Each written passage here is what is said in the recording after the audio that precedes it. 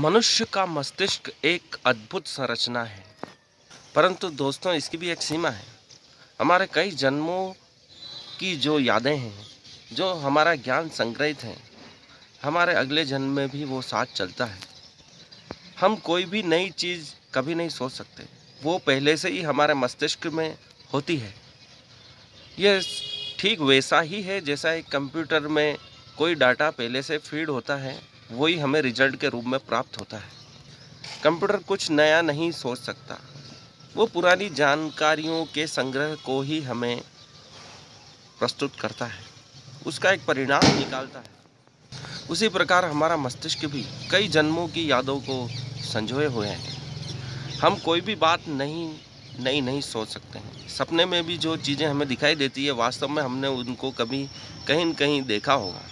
रामायण में एक वर्णन आता है, जिसमें लक्ष्मण से प्रभु श्री राम कहते हैं कि देख, हिरण कितना सुनहरा प्रतीत होता है। मानो ये स्वर्ण का ही हो। तो लक्ष्मण कहते हैं कि यह स्वर्ण का ही हिरण लगता है, अतः यह मायावी है। तो प्रभु श्री राम कहते हैं कि जो चीज़ें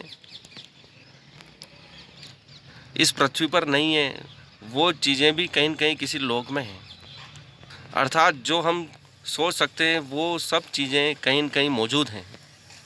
क्योंकि उनको हमने कभी न कभी देखा है, तभी वो हमारे सपनों में, कल्पनाओं में आती है। इसलिए हम देखते हैं, किसी की बुद्धिमत्ता का विकास तो बहुत ज़्यादा हो जाता है और कोई मंद बुद्धि रहता है। या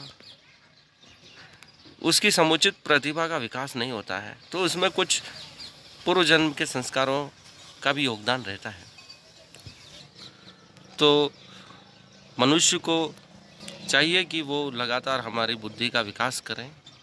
यदि पूर्व जन्म में हमने ज्ञान प्राप्त नहीं किया है तो वर्णन आता है कि कालिदास ने घोर संघर्ष करके, कठोर परिश्रम करके इसी जन्म में ज्ञान प्राप्त किया था और महाकवि कहला है तो ये मस्तिष्क बहुत अद्भुत है दोस्तों, इसकी रक्षा करें, इसको समुचित पोषण दें अच्छे अच्छे विचार अपने मन में लाएँ मस्तिष्क का सदुपयोग करें। मानवता की भलाई के लिए इसका उपयोग करें। धन्यवाद। मेरा चैनल सब्सक्राइब करें। वीडियो पसंद आए तो उसे लाइक करें। Thank you.